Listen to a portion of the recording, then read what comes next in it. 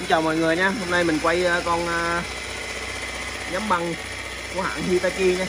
Con này xài điện 200V này, tắt đi. Này ờ, tình trạng thì xài bình thường nha. Ở đây nó có 3 dây nè anh em có thể gắn biến từng nha. Con này thì nó bị bể cái đế ở đây. Bể cái đế ha. Nó còn rất là mới. Tình trạng thì nó chưa chưa chưa chưa chưa chưa chưa sơn lại luôn nha. Con này là còn rin. Mở mở cái cái, cái tờ nhám này ra đi. Mở tờ nhám.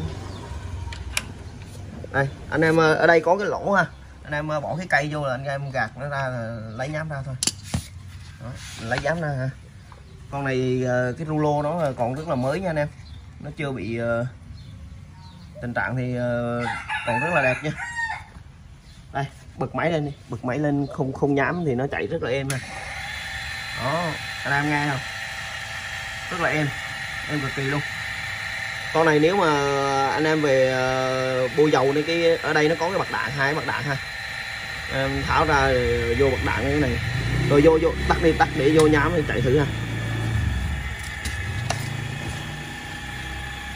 Giữ lại đi, sao đó. Đó. vô nhám rồi anh em ờ, đưa cái cây đó vô bực bực bực lại là cái lỗ này là được rồi con này xài điện ờ, 200V em có thể gắn biết từng thoải mái ha bực nó chạy Đấy. Đấy. này ờ, tốc nó đang cao nha anh em có thể hạ tốc nó lại qua biến tầng nha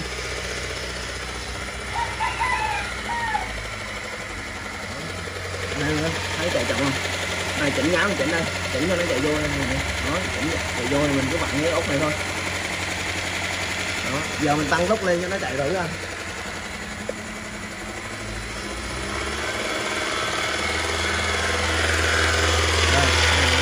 tốc này vẫn chưa cao nhất nha anh em. Anh em à, về à, gắn cái à, cái này thì anh em về ờ, cái miếng gỗ bắt này lại. Nó xong siết bốn ốc này lại là nó cứng ngắc ha nó không rung luôn mình để thôi cái nền này thì nó hơi rung rung xíu.